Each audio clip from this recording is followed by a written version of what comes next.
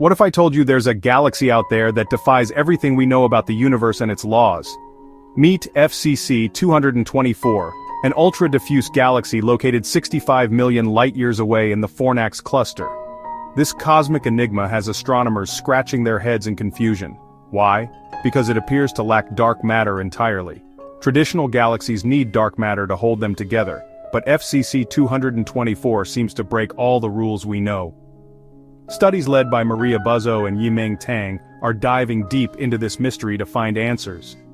Buzzo's team tracked star cluster movements with the Keck Observatory, revealing surprisingly slow speeds.